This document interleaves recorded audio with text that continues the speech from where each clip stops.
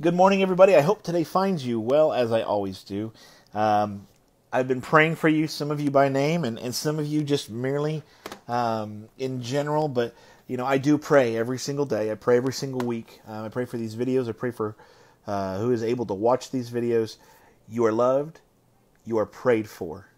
And even though some of us I know have um, big distances apart, and some of us are parted because of uh, COVID and, and in other instances, I still think about you. I still love you, and I still pray for you. So, with this being said, let's go ahead and get into our word today. Today we're talking about a relationship. Okay? And this is that relationship between Jesus and his disciples. Now, speaking of relationships, I want to encourage you if you're watching, um, feel free to ask questions during the live feed and I will do my best to answer them. I'll do my best to acknowledge them. Um, many of you have seen that if you pop on, there's a little wave thing. I'll wave at you. The reason I do this is, you know, this is all about relationship. Even though this is a screen and I'm presenting the Word of God to you, I'm doing this not because Brian gets something out of this. You know, um, some of these videos get big marks and some of them don't. I do this because I love you. I do this because uh, I have a vertical relationship with Jesus and I want to have a horizontal relationship with you, we need to make sure we are getting those relationships in order. This is important and it's vital. Uh, this is all about relationship. Part of looking like Jesus is knowing Him. At the end of all things, when Jesus um, is judging, one of the things He will tell people, He will look at them after they said, We've been in church we've prophesied and we've performed miracles and we've cast out demons in your name. He said, I'll look at them and say, I never knew you. I was never intimate with you. I had no knowledge of you. And so I hope that when we look at these verses, when we look at how Jesus interacted with his disciples, from the very beginning, it was always about the relationship. So, first John or sorry, John 1 verse 35. It says, Again, the next day, John was standing with two of his disciples. I know we read this last week, but um, you know these two lessons are going to overlap because you know it speaks of Jesus as the Lamb of God, but at the same time, it also speaks to the relationship he had. Um, you know, remember um, Jesus had when he was baptized, he came up out of the water, and the skies opened up, and and God said, "This is my beloved Son, with whom I'm well pleased." And the Holy Spirit came and landed upon him like a dove. Um, when we see these things, that's Jesus and his relationship with the Father and the Holy Spirit. When we look at this right here, this is Jesus and his relationship with others as he has that relationship with his Father. Jesus even said the greatest commandment is to love the Lord your God with all your heart, with all your mind, with all your soul, and with all your strength, and to love your neighbor as yourself. So, we look at this. Again, the next day, John was standing with two of his disciples. John had a relationship with two of those disciples. Who were those disciples? Andrew and another disciple who we know by the writing is John himself. When he saw Jesus walking by, he said, Look, the Lamb of God! The two disciples heard him say this and followed Jesus. When Jesus turned and noticed them following, he asked them, what are you looking for? They said to him, Rabbi, which means teacher, where are you staying? These two men, Andrew and John, by claiming Jesus as rabbi, they're saying, We are asking you to teach us. They are establishing the relationship. Teacher, our teacher, our master, our uh, uh, uh, our, our, our guide. Where are you staying? And they did this to create a relationship. And Jesus could have said, You know, I don't have time for you right now. But instead, this is what happens Come and you will see, he replied. So they went and saw where he was staying, and they stayed with him that day. It was about 10 in the morning. So they stayed with him for a whole day. We don't know what they talked about. Andrew and John kept that to themselves. It was never really written about in the other scriptures. We don't know what they had said. But Jesus spent the day talking to his disciples. Jesus was in communication with and relationship with these first disciples, John and Andrew. Jesus was invited by them to be their teacher. They said, Rabbi, where are you staying? And Jesus himself said, Come, and you will see where I am staying. Jesus invited them into his life. The invitation wasn't merely by them. They wouldn't have come had Jesus not known them. But as Jesus was passing by, John said, Behold the Lamb of God. And it intrigued them. They were drawn to him because John made a declaration about this Jewish Messiah. And the Messiah invited them, Come and stay with me. Now, we know that whatever they said, whatever that conversation was, had such a profound effect on them that they were changed by it. Here's what I mean. The next verse, verse 40. Andrew, Simon Peter's brother, was one of the two who heard John and followed him. So, Andrew and John, we know, were disciples of John the Baptist. He first found his own brother Simon and told him, We have found the Messiah, which means anointed one. And he brought Simon to Jesus. When Jesus saw him, he said, You are Simon, son of John. You will be called Cephas, which means rock at one point later on, um, Jesus calls him Peter. He says, And you are Peter, which also is where the word Cephas comes from. It also means rock. And on this rock I will build my church. When Jesus is naming Peter, he's doing something else there by saying, You are the rock. Jesus is again establishing a relationship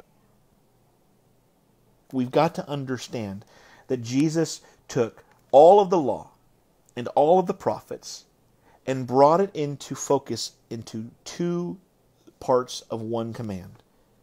A scribe asked him, Master, what is the greatest commandment? And he said, You shall love the Lord your God with all your heart, with all your mind, with all your soul, and with all your strength. But he said the second is equal to it. That is what the word just like that we have translated. The second is just like it. The second is exactly like the first. You shall love your neighbor as yourself. He says all of the law and the prophets hinge upon these two.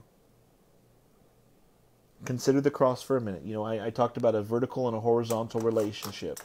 Let's take a look at, at the cross for a minute. Imagine this is a cross. It's a pretty bad cross, but it'll work.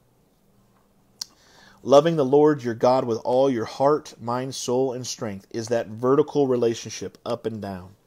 Loving your neighbor as yourself is the left to right, the, the, the horizontal relationship. We love God, and because we love God, we then love those He created in His image, which is our neighbor, which is all people. And Jesus began calling His apostles calling his disciples and having a relationship immediately with them. It is all about relationship relationship to God and relationship with one another. Jesus said, The greatest commandment, the new commandment I give to you, at, at John 15, we're going to look at this sometime down the road. He says, A new commandment I give to you, that you love one another. All the world will know you follow me by how you love each other. In other words, you cannot love Jesus without loving your neighbor. Why? Because your proximity to Jesus brings you into a love relationship with your neighbor. And who's your neighbor? Everyone. They will know we are disciples of Jesus Christ by how we love one another. Jesus never preached a message without following his own teachings, and that's what he's doing here. He immediately established a relationship. One more story, and then we'll go ahead and wrap up the video. Verse 43 The next day, he decided to leave for Galilee. Jesus found Philip and told him, Follow me. Those words, follow me, Many of us don't understand them, and I think many of us get it wrong. When Jesus is saying, Follow me, he is saying, Walk in my steps, become as I am. When Jesus tells you, and when he tells me, Follow me, he is saying, Walk in my steps and do as I do. Now, Philip was from Bethsaida, the hometown of Andrew and Peter. Philip found Nathanael and told him, We have found the one Moses wrote about in the law, and so did the prophets. You see, Jesus had this profound effect in these relationships with these young men. Follow me. This is the one. Those are the responses. Whatever Jesus had in those conversations with those disciples, it convinced them that all the law and the prophets, that Moses, that, that the prophets, that the histories, that everything that was pointing to this one, this, this root of David, this seed of David, the son of David, was found in this man, Jesus Christ. And they knew so because of the relationship they had with him. Now, here's how Nathanael responded. Not everybody follows this. We have found the one Moses wrote about in the law, and so did the prophets, Jesus the son of Joseph from Nazareth. And I love Nathanael's response. He's honest. Can anything good come out of Nazareth? Nathanael asked him. Come and see. You see, so this comes full circle. When Jesus told his disciples, Andrew and John, come and see, when they asked where he's staying, and Philip here is telling Nathanael, and Nathanael says, Anything, does anything good come out of Nazareth? Philip uses the same words that Jesus, come and you'll see.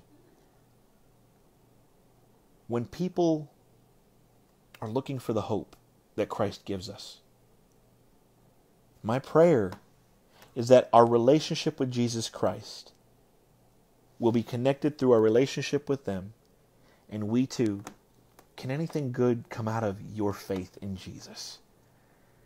That they see it in us, and we may also say, Come, and you will see. The story doesn't end there, though. Then Jesus saw Nathanael coming toward him, and he said about him, Here is a true Israelite, no deceit in him. You know, this is Jesus being funny. You know, Israelites are like they're, they're skeptical people. And what's more is he was was using this. he was he was giving his skepticism, but Jesus admired him for it. He built it up. He established a relationship again with Nathanael. Here is a true Israelite. I know this man. This man has no deceit in him. Jesus again built a relationship with this disciple, Nathanael. And Nathanael asks, How do you know me? That intimate word, know. How is it you know so much about me? Nathanael asked. Before Philip called you, when you were under the fig tree, I saw you. In other words, Jesus discerned the conversation. He knew who Nathanael was, he knew him intimately. It goes back to Psalm 139 where David says, Lord, you have searched me and know me. You know my heart. You know the deepest, most part of me. There's nothing I can do to hide from you. Jesus is saying this to Nathanael. And I love how Nathanael responds Rabbi, teacher. Nathanael replied, You are the Son of God. You are the King of Israel. Because of this little relationship. Because this Messiah, this rabbi, this teacher reached out to him and knew him personally. He loved him. He knew him. He was intimate with him.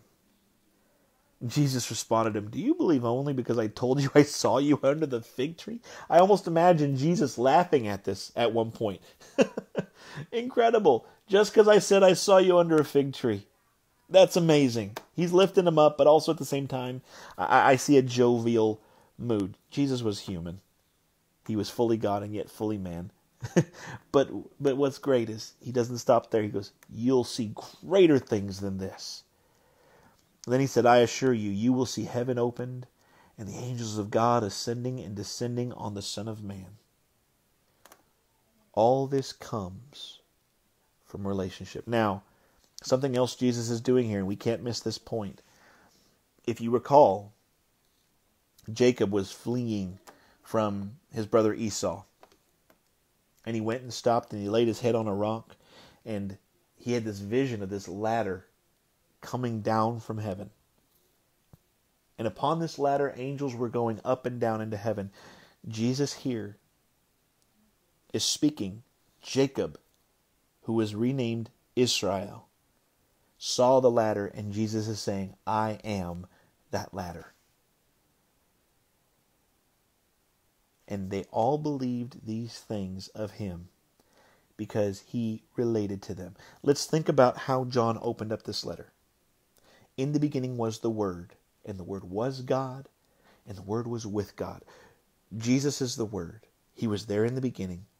He was God, but he was also with God. Relationship. Then he says, The Word became flesh and dwelt among us. Jesus came down and became one of us. He related to us. And then we see all these things that began at the beginning of this chapter. He's meeting with people, he's coming in and he's establishing relationships and he's bringing disciples in. And he knows each one of them and he's intimate with them all. Church, maybe we've stepped away from this for too long and need to get back. This is all about relationship, relating to God the Father and relating to all our brothers and sisters. It's all about relationship. If we love God, we will keep His commandments. If we love God, we will love our neighbors as ourselves. They're not mutually exclusive of each other. And so we need to follow Christ. We need to follow Jesus. We need to seek following Jesus. I pray for you. Let me know what you think. Comment in the video. Tell us tell us what you think of this have a relationship with us, converse with us. Some of you do, and we appreciate that. But but let's make this group, even these videos, about relationship. With that being said, I want to let you know I love you, and I'm going to continue to pray for you. And I hope to see you again on Thursday. If you have any questions, if you have anything you want to say, go ahead and bring it up. I think we have a topic for Thursday already, but you know, more questions asked, more videos will be done. That being said, God bless you, God keep you, and we will see you on Thursday.